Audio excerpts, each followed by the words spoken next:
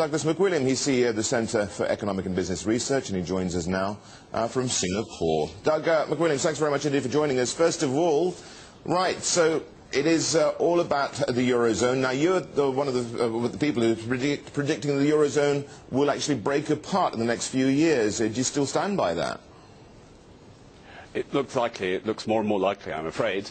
Uh, unfortunately, the, uh, uh, the, European leaders haven't done enough to keep uh, the economies together, and uh, I do fear that uh, we are going to see the Eurozone break apart. And of course, as we've just been mentioning, uh, we can see the West's uh, share of global GDP sink below 50% over the next 10 years or thereabouts. But, you know, of course, it is down to what's happening in Asia as well. So let's have a look at these Southeast a Asian economies here. Doing very well, but we can't just lump them in one group, can we? Because each one has a different story to tell. No, I think in Southeast Asia, one of the dramatic things is that the countries are very different from each other.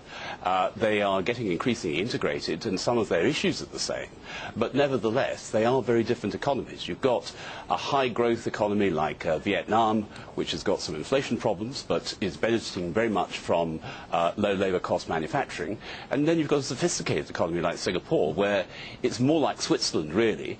Uh, it's also it's growing quite quickly for a, a, a, a prosperous prosperous economy, but it's got uh, different problems. It's got the problems of prosperity rather than the problems of inflation.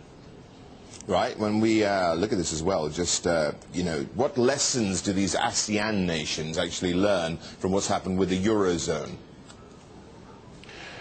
I think the one thing that they should learn is not to try and put together a single currency. But I don't think there's much danger of that. I think the lesson from the Eurozone is that you can only have a single currency when you've got the economies moving more or less in line with each other. And trying to bring in a single currency too early doesn't really work.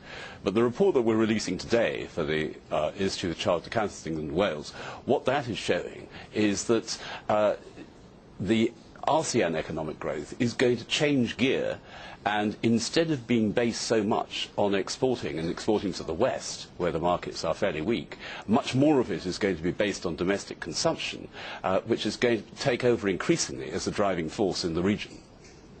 Right. Well, you know what happens though if we see a, a sharp pullback in Chinese growth? What would be the ripple effect? It would be bound to be a ripple effect, um, but it will not be as great as the ripple effect might have been had this happened 10 years ago or so. Uh, at that stage, there was a very heavy dependence on external trade. What we're seeing, and particularly over the next five years, we're going to see a further change in this direction, is that domestic consumption in ASEAN is going to be much more the driving force. Right, you, you say that, but uh, what about intra-ASEAN trade here? How much does that grow by here, with the different income levels, of course, playing a big role?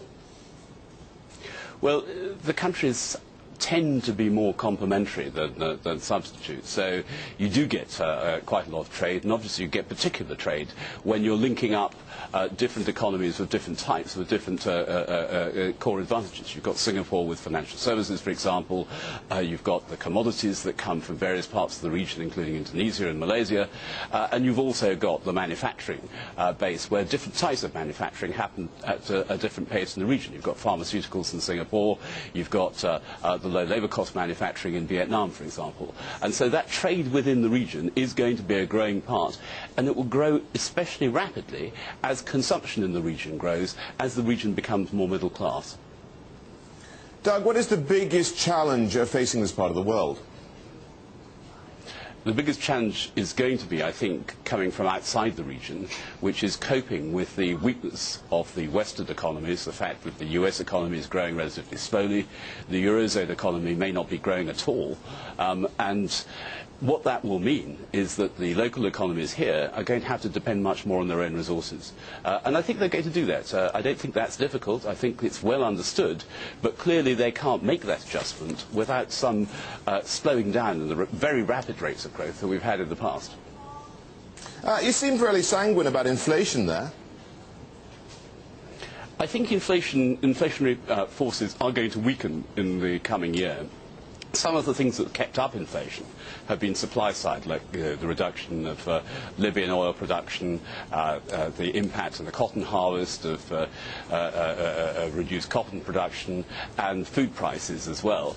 Those supply side factors are not going to be quite as uh, dramatic and negative uh, as we move on through the next 12 months. I think we'll see inflation come back a fair bit. Doug, uh, Douglas, thanks a lot for, for joining us. Uh, Doug McWilliams uh, joining us uh, from Singapore from the CEBR.